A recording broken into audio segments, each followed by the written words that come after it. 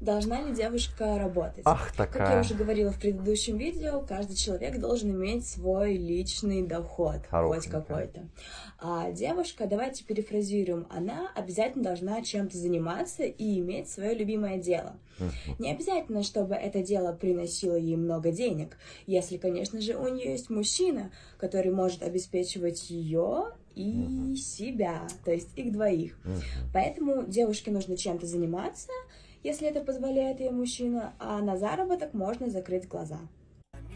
Ну, понятное дело, оленяку найти, в принципе, все будет нормально. Да, ребята, всем здорово, Саныч на Какой нахрен что-то там говорила, мне даже вообще похрен, да, ну, ну, пупсик такой, да, вот в, в, розовых штанишках, такая леггинсах, да, вот они такая, животик свой, так, ну, пупсик просто, да, вот ее.